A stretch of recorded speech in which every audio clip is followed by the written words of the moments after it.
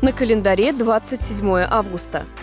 27 августа 1893 года из Москвы в Самару доставили колокол. Весил он 880 пудов. Через несколько дней рано утром при большом стечении народа он торжественно был поднят на колокольню кафедрального собора. Самый большой колокол для храма заказал самарский купец Давыд Кириллов и отлил его мастер Илья Веревкин. Одна из старейших улиц Самары, улица Льва Толстого, сменила на своем веку много названий.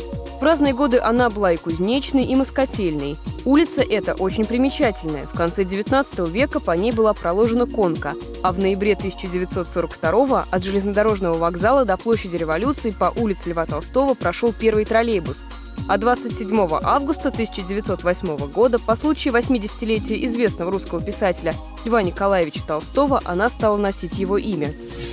Сегодня уже мало кто помнит, что 27 августа 1919 года Владимир Ильич Ленин подписал декрет о национализации отечественного кинематографа.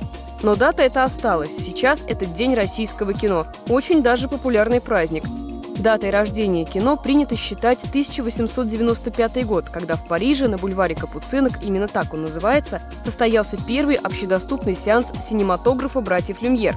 Свой бульвар Капуцинок был и в Самаре. На улице Дворянской, ныне это улица Куйбышева, в 20 веке находилось сразу несколько кинотеатров.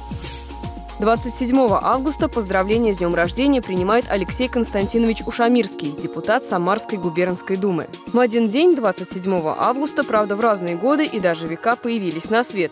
Немецкий философ, один из основателей немецкой классической философии Георг Гегель, русский военный и политический деятель Петр Врангель, оперный певец, народный артист СССР Александр Огневцев – Легендарная личность, выдающаяся актриса 20 века, народная артистка СССР Фаина Раневская и другие знаменитости.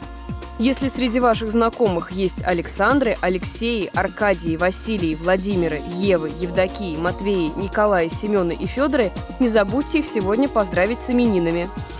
27 августа народный календарь вспоминает Михея Тиховея. В этот день было принято наблюдать за ветром. Если он тих и спокоен, то осень будет солнечной, а если быстр и стремителен, следует ждать ненастья. Обращали внимание на журавлей. Если птицы потянулись клином на юг, значит к середине октября ударит мороз. Если же журавли спокойны и не встают на крыло, зима придет позже обычного. Такими событиями запомнился нам 27 августовский день.